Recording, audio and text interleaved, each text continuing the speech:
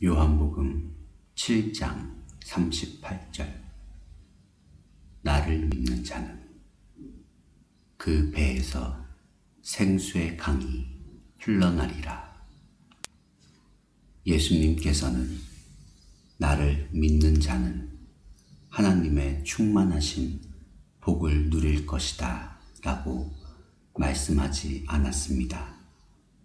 그러나 나를 믿는 자는 그가 받은 모든 것이 그로부터 나오게 된다라고 말씀하셨습니다. 우리 주님의 가르침은 언제나 자기 실현과는 정반대입니다. 주님의 목적은 사람을 개발하는 것이 아니라 주님과 정확하게 같게 만드는 것입니다. 하나님의 아들의 특징은 자신을 소모하는 것입니다.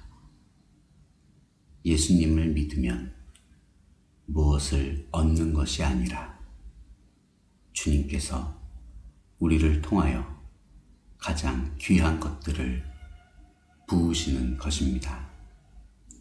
즉, 하나님께서 우리를 아름답고 좋은 포도로 만드는 것이 아니라 우리를 통하여 포도즙을 짜내시는 것입니다. 영적인 세계에서 볼 때 우리의 삶은 성공으로 측정되어서는 안 됩니다. 오직 우리를 통해 하나님께서 쏟아 부으시는 것으로 측정되어야 합니다. 그러나 우리는 그것을 측정할 수 없습니다.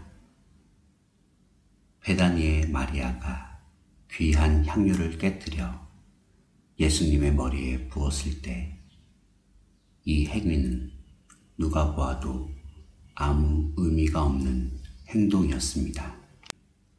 그래서 제자들은 이를 낭비라고 말하였습니다. 그러나 예수님께서는 마리아의 터무니없는 낭비적 헌신을 칭찬하시며 말씀하시길 어디서든지 이 복음이 전파되는 곳에는 이 여자의 행한 일도 말하여 저를 기념하리라고 하셨습니다. 우리 주님께서는 우리가 이것저것 따지지 않고 모든 것을 주께 다 드린 마리아처럼 행할 때 기쁨을 이기지 못하십니다. 하나님께서는 이 세상을 구원하시려고 그의 아들의 생명을 쏟아 부으셨습니다. 주를 위해 당신의 생명을 쏟아 부을 준비가 되어 있습니까? 나를 믿는 자는 그 배에서 생수의 강이 흘러나리라. 믿는 자를 통하여 많은 사람들이 끊임없이 새로워질 것입니다. 지금은 생명을 깨뜨릴 시간입니다. 자기 만족을 추구하는 욕구를 버리고 주를 위해 모든 것을 쏟아 부으십시오. 주님은 우리 중에 누가 이 일을 할까? 라고 묻고 계십니다.